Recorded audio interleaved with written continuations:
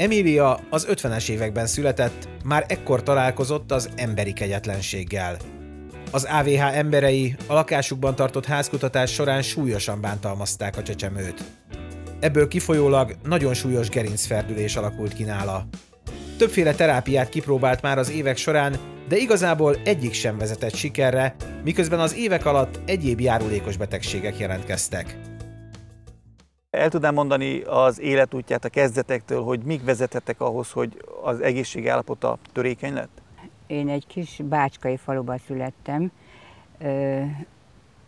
az 50-es években, pont a Rákosi rendszer legdurvább éveiben, és abban az időben ugye az embereket vitték börtönbe egy, egy feljelentésre, és bármi kis szösszenetre.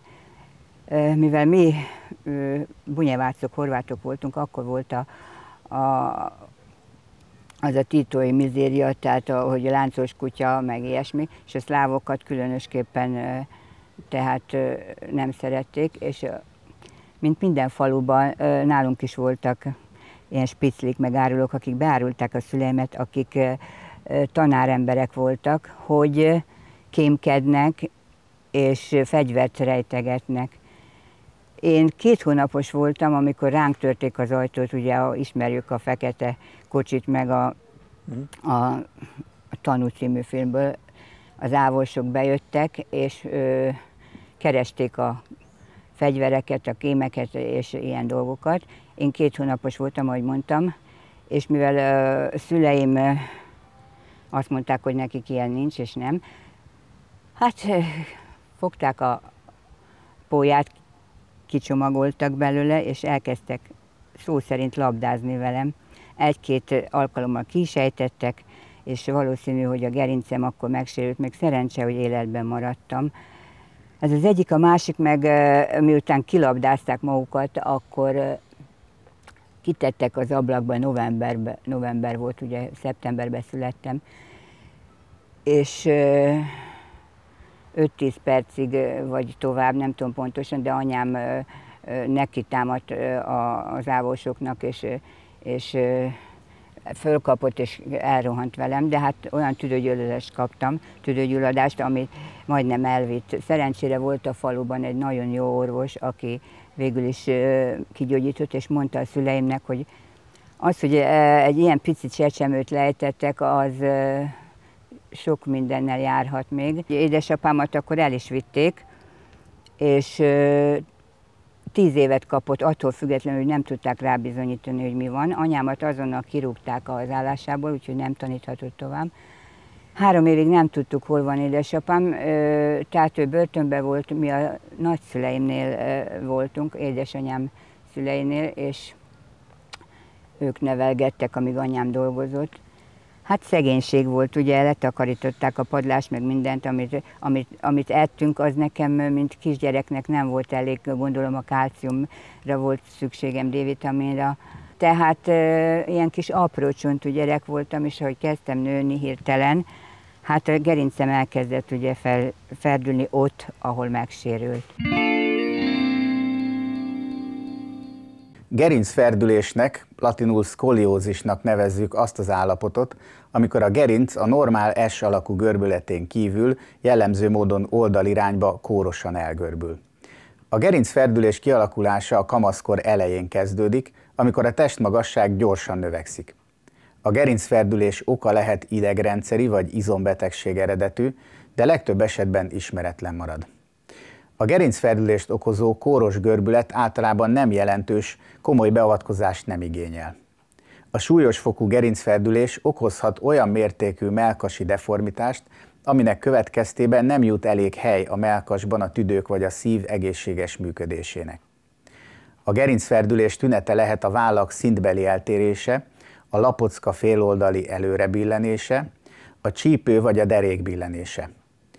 Sok esetben a gerinc nem csak oldalirányban, hanem hossztengelyek körül is elmozdul, csavarodik, ilyenkor torziós szkoliózisról beszélünk. A gerincferdülés oka legtöbbször nem azonosítható, de biztosan szerepet játszanak benne idegrendszeri bénulások, izombetegségek, vele született fejlődési rendellenességek, illetve a gerincet ért kisgyermekkori vagy csecsemőkori sérülések. A betegség egyforma arányban érinti a fiúkat és a lányokat, de lányoknál gyakrabban van szükség valamilyen korrekciós kezelésre.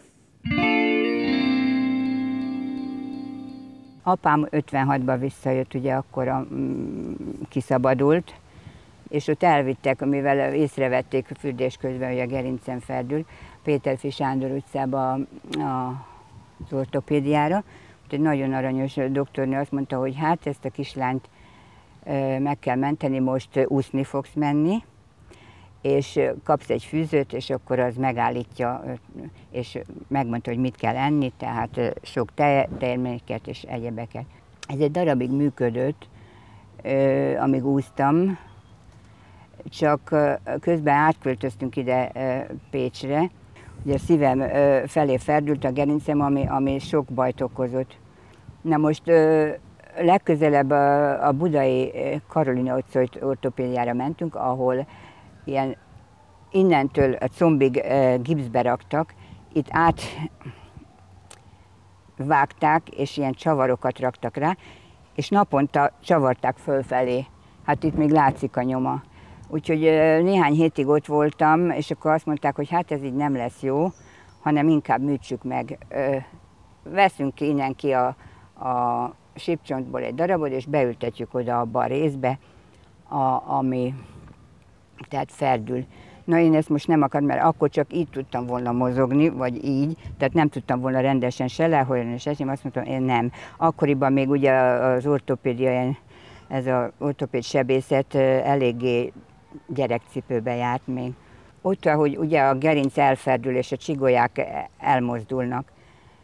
Ezt van is egy ilyen nagy papírom, ami látszik, hogy a, a felső csigolyák azok pajzsmirigy problémát okoznak, alul vagy fölülműködést, és azon kívül a szívemet, ahogy nyomja a gerinc, ott nem tudott elég jól pumpálni a szív, és szívelegtelenséget is kaptam, tehát nem, nem tud elég oxigént pumpálni, akkor már a vesét, a májat és a többi vért pumpálni oda, és akkor azzal is lesz probléma a beleimmel. A beleimmel polipok keletkeztek, meg a hangszálaimon. Úgyhogy azt meg is kellett műteni, a doktornő levett, ugye kolonoszkópiát csinált, és levette a, a, ezeket a polipokat, és azt mondta, hogy szerencsére jó indulatok, de hát állandóan majd figyelni kell. A gerincferdülés szövődménye lehet tüdő vagy szívkárosodás, ilyenkor a melkas eldeformálódása miatt nehezedik a tüdőben a légáramlás, a szívvel közvetlen kapcsolatban lévő nagyerekben pedig a véráramlás. Jelentős életmódot kifejezetten negatívan befolyásoló szövődmény lehet a krónikus hátfájdalom kialakulása, illetve pszichés problémákat vagy akár személyiségfejlődési torzulásokat is okozhatnak a gerincferdülés miatt kialakuló esztétikai eltérések is. A lányom elvitt egy természetgyógyászhoz itt, itt, ahol lakott a szomszédban egy kis barátjával, és na hát ő egy kicsit rendbeszedett mentálisan is, meg fizikailag is, elmondta, hogy miket csináljuk, de hát ez nem volt elég. Ott találkoztam egy, egy hölgyel, ez 2009-ben vagy 10-ben volt, ha jól emlékszem, aki ajánlotta a gombákat, mert hogy ő szedi, és neki nagyon jót tesz. És elkezdtem akkor én is kipróbálni, és tényleg egy csoda történt, mert, mert azóta én szedem őket, és a, ezek a szimptomák és, és betegségek lassan kezdtek visszahúzódni. A TSH-m normalizálódott. A beleim, amikor voltam újra a mm, tükrözésen, akkor a doktornő már nem talált ö, rajta polipot, tehát ö, elkezdtem ugye szedni a gyógygombákat, és ezek ö, meggyőződésem, hogy ennek köszönhetem, hogy sokkal jobban lettem. A pajzsmirigyem, a, a szívem is, és a beleim is. Tehát, és a hangszálaimon se újult ki, pedig fél évente jártam először, aztán évente, most már nem is járok, csak két évente. És én mindenkinek melegen ajánlom, és főleg megelőzésre is, mivel hogy az én gyerekem, amióta neki is elkezdtem, és szerencsére elfogadja, ebben a influenzás, vírusos időszakban ő, ő szegénykém állandóan beteg volt ilyen légúti betegségekben, és azóta nem hiányzott, a, csak akkor, ha nem akart iskolába menni, mert három napig igazolhatok, akkor hiányzott. Nekem a gyógygomba az egy ö, olyan barát és őrző angyal, aki, aki segíti az életemet, és, és ha probléma van, mindjárt kezdem szedni egyet-kettőt, és, és lassanként helyreáll. Nagyon szépen köszönöm, hogy elmesélte a történetét. Nagyon sok tanulság van az ön történetében, és az ön példáján ezt, ezt láthattuk, hogy komplex, holisztikus módon az egész szervezetet képes regenerálni a, a, a gyógygombáknak a használata. Köszönöm szépen, hogy elmondta a történetét. Én köszönöm.